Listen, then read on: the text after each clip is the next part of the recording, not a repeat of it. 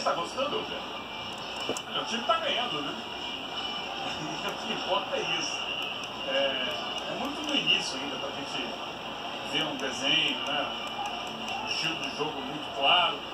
É óbvio que o Boca tem grandes jogadores, falando do campeonato argentino, vai ser sempre o favorito quando estiver em campo.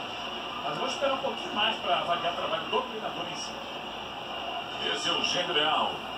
Tentou chegar ali, o Brandão não deu. Raimundo tira. 16 minutos. São tenta pressionar o Boca. Busca um golzinho. Para tentar uma reação. Confesso que vejo muito crítico ao trabalho do Escalor. Ele estava há muito tempo né, no comando do time e a equipe tinha um padrão mais claro. O comando do Escalor foi, inclusive, final de Libertadores, bicampeão argentino. O Alfa está iniciando, está montando ainda o seu jeito de jogar, né, sua proposta. Saudades do Riquelme, Felipe Medeiros, Tubarão, Santa Catarina.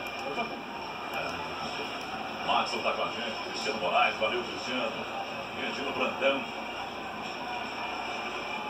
Obrigado, Faz exercício aí. Valeu, Didi. Tô fazendo. Santana também. Agora eu vou fazer vai esse aqui. Santana. Mas Benedito. Qual que é esse aí? Esteira. talvez fique até o meio da temporada, o meio do ano. Agora esse. São Sim.